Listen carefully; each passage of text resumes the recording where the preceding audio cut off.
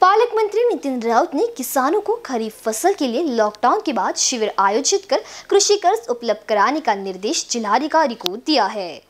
उन्होंने कहा कि लॉकडाउन समाप्त होने के बाद राष्ट्रीयकृत बैंक और जिला सहकारी बैंकों से अधिक से अधिक कर्ज उपलब्ध करवाए। वे वीडियो कॉन्फ्रेंसिंग के माध्यम से खरीफ मौसम की समीक्षा बैठक में बोल रही थी।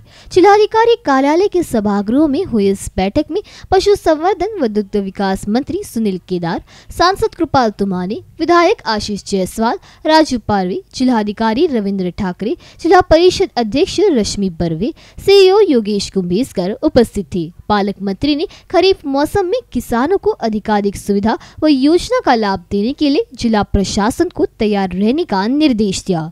उन्होंने कहा कि यूरिया खाद बीजों की कमी न हो ऐसा नियोजन किया जाए। खरीफ के लिए लॉकडाउन के नियमों भी, भी आवश्यक बदलाव करे।